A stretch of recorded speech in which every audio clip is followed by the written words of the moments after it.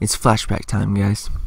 Let's go back to when the Earth was 3.5 billion years old. That's like very early Earth, back when life was single celled. The Earth was very different from today. For example, the continents were still forming, and the days were a mere six hours long because the Earth was spinning much faster than today. For millions of years, the Earth's surface has been changing. Erupting volcanoes built up islands of lava and ash that polluted the seas. The atmosphere was filled with gases, and there was no oxygen or ozone, so ultraviolet rays bathed the earth. All these things brought many chemical changes to the waters. For millions of years, this chemical soup thickened and changed. and that's one thing that I kind of thought was funny too. Is uh, chemical soup is not some like term I just made up. Like in, I've seen like multiple documentaries for this episode, and they call it chemical soup. Like that's the fucking scientific term for it. Well, anyway. Uh, larger molecules come from this chemical soup and cause amino acids to form around them, making protein. They could also produce copies of themselves. And one of these molecules is uh, DNA, which is the basis of all life. We all have DNA in us. Their arrangement is uh, like a sort of code that builds more proteins. Sometimes the DNA splits, and both sides attract other halves, making two new copies that are identical. So they kind of make like clones of themselves. And this is how life started but sometimes there's a mistake in the code, which is also called a mutation. This causes uh, variation in the first cells, and natural selection sorts them out. The mutations that benefited life usually stayed, while the ones that didn't eventually died off. So uh, life continued evolving this way, changing the environment around them first by oxygenizing the atmosphere, then causing the Earth to freeze over, becoming the snowball Earth we talked about in uh, last episode. And that's because, like the increased oxygen levels due to the snowball Earth, actually probably uh, contributed to today's episode, which is Ediacaran, and the uh, Cambrian explosion, which is the next episode. So yeah, like uh, today's episode is on the Ediacaran, uh, with the primary focus on the Ediacaran life following after the Snowball Earth. You can find all that and more on Down the Line.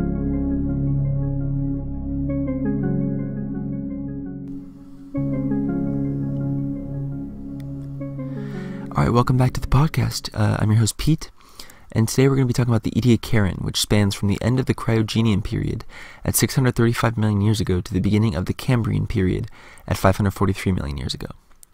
Uh, it marks the end of the Proterozoic Eon and the beginning of the Phanerozoic Eon.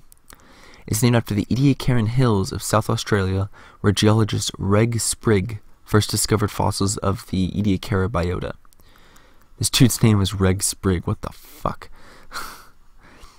Uh, we're going to talk about the Vendian too, which I guess the Ediacaran period overlaps, but is shorter than the Vendian period, which is a name that was earlier in 1952 proposed by Russian geologist and paleontologist Boris Sokolov. And this really confused me, because from what I've seen, the Vendian and Ediacaran are the, are the same thing.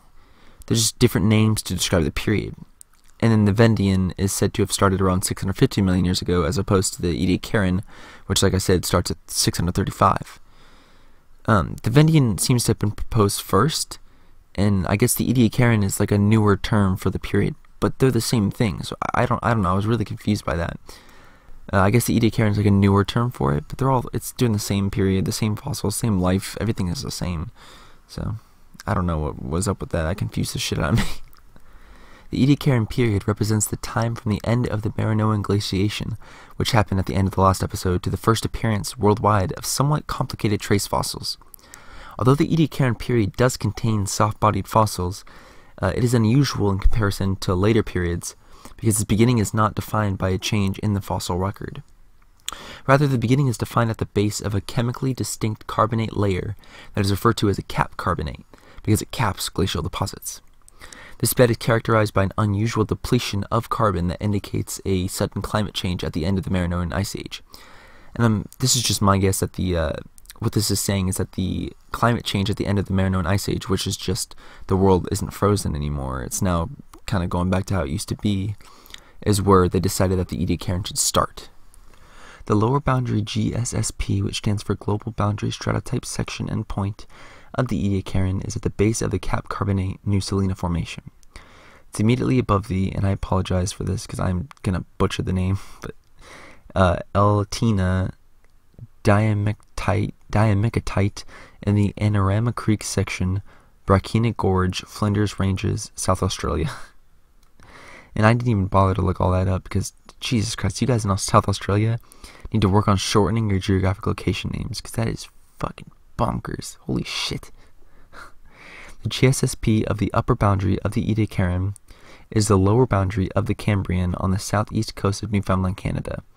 And that was really confusing too, but uh, what that's saying is that the end of the Ediacaran is basically the same as the beginning of the Cambrian, which is uh, they believe happened on the southeast coast of Newfoundland, Canada. That's where I think all the fossils are for Ediacaran life and everything. And as for subdivisions, there are actually no formal uh, subdivisions yet, and I think it's because the Edict Ediacaran period is still like really new. It's I think it's the newest, uh, or at least one of the newest periods that we've added in long, like hundreds of years. So uh, they're still trying to figure all that out.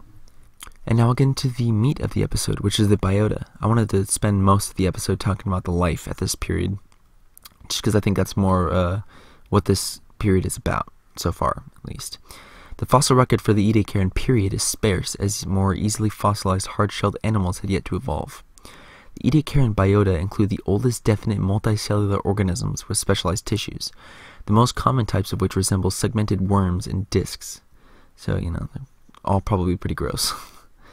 Ediacara biota bear little resemblance to modern life forms, and the relationship, even with the immediately following life forms of the Cambrian explosion, is rather difficult to interpret. More than a hundred genera have been described, and well-known forms include Charnia and Dickinsonia, which both are actually featured in one of the documentaries that I watched for this episode in preparation, which is called First Life, it's a documentary with David Attenborough, and I really rec- all these documentaries that I'm going to talk about in this episode. I really recommend. They they do a really good job of explaining everything and talking about the life at this time and maybe what it even looked like. Some of them even like uh, added CGI so that you could see like or like pictures so that of what they think it, that the fossils might have been when they were life, you know. And uh, I guess I'll just talk actually about some of the documentaries right now and and see if I can explain the life at this time through that. So I will talk about the first life documentary right now, which uh, I guess I guess I'll just talk about the Charnia and Dickinsonia. Those are two that were heavily featured in that documentary. And Charnia uh, was an Ediacaran life form that grew on the seafloor and is believed to have fed on nutrients in the water. It lived in deep water, far below the zone where photosynthesis can occur. And then Dickinsonia were long and round and moved around the seafloor at incredibly slow speeds a description for the Ediacaran animals is actually really difficult because they just don't look like anything we have today. Like somewhere between uh, worms, snails, and bugs. Like they just they don't look like anything that we could really use to describe it. It's like a mixture of all these weird animals. Although I highly recommend that you look up pictures of the fossils of both these animals. Um, and then the I think it was from this documentary. They had some CGI videos and pictures of what they might have looked like. That's what I was saying earlier and it, and it is just like how I described them little worm alien bug things. They're, they're definitely interesting and unlike anything we have now. That's really cool. And uh, one of the things that I wanted to talk about for for this uh, documentary too, the most interesting part I found in this episode is a scene where the, a, my, uh, micro, a marine biologist takes a sponge, which obviously has animal cells. It was probably the first animal. And he pushes it through a syringe until it becomes like a clump of cells. And I guess it's actually a pretty humane way to look at animal cells because a sponge can't feel pain. That's why they do it. And when looking through a telescope, after three weeks, the cells would come together to form like little uh, micro sponges or something. And, and this is possibly, the reason that they even showed this was this is possibly how early life formed. After the snowball Earth, the increase in oxygen in the air causes cells which previously avoided each other to come together, making shapes and skin and pretty much anything that would eventually become an animal like us. it's important to note that all the fossils we see of these creatures were at the time of their life underwater on the ocean floor. Millions of years brought them up above the water where we can actually see the fossils of these ocean creatures today. And they would show in these documentaries too, like uh, like a cliff overlooking the ocean. And they do talk about that how that, that cliff, you know, millions of years ago was actually the sea floor, which I thought was super interesting. It's also believed that a, a, new type of reproduction was introduced around that time of the Ediacaran biota. It's believed that how a, like how a coral reef will unleash all its sperm and eggs at the same time, which would then fertilize and then grow like a plant out of the ground. Some Ediacaran animals probably actually did the same. uh, they probably weren't the first to sexually reproduce, as you may remember from a few episodes back when I talked about when sexual reproduction probably started. Um, but at the Ediacaran, it was it was so much more common than it had ever been before, and this sped up diversity, which uh, sped up natural selection and therefore evolution. And so the Ediacaran life uh, had no mouths, stomach, or organs at all. The food that they ate was converted straight into energy, but moving actually took a lot of the energy. So they were technically an evolutionary dead end. Although, as it is discussed in the BBC podcast In Our Time, Ediacaran Biota, they can be seen as a stepping stone to the Cambrian animals, which had a mouth, stomach, and anus in which to store and convert food to get more energy. So, were the Ediacaran really a dead end, or did they just do exactly what they were supposed to until more advanced life forms could evolve? Um, were they really like a failure or a success for their time? And I think that's a really interesting thing. They do talk about that a lot in the, that podcast I was telling you about in our time, the Ediacaran Biota episode. It is really good. It's about 45 minutes long. And uh, and they really get into that. It's like even though they didn't have the organs or body parts that they needed to kind of uh, not be an evolutionary dead end, it's like are we expecting too much from them, you know, to to do something that hadn't even existed yet, you know? Are we expecting too much of them when they probably evolutionary led to the Cambrian explosion, which gave them all these uh, body parts that they could use to store food and convert it. And so, uh, in the next episode, we'll discuss the Cambrian explosion and a new age of life on Earth. Like that probably came from the Ediacaran life. Before that, though, I thought we would end this episode with an interesting way to look at not just life, but time itself. So the following is a quote from David Attenborough from another documentary of his that I also recommend called Life on Earth. He says, These immense periods of time baffle the imagination. But perhaps we can get some idea of the relative lengths of the various stages. If we condense the whole history of life on Earth into one year, then 10 million years becomes one day.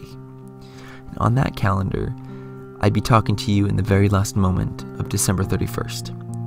And primitive man will have appeared only a few hours ago in the early afternoon. The first backboned animal will have crawled up onto land during the last week of November. And so, like he says, uh, also in this documentary, life would have begun all the way back in January. Man, I just think what an interesting way to look at our short time on this earth and how much we've changed it. And, and you know, if everything was put into one year, we've changed the world so much in only a few hours worth of time. I just thought that was a really interesting way to to end this, I guess, just to talk about not just people, but but time itself. So, thanks for watching, and I'll see you next episode.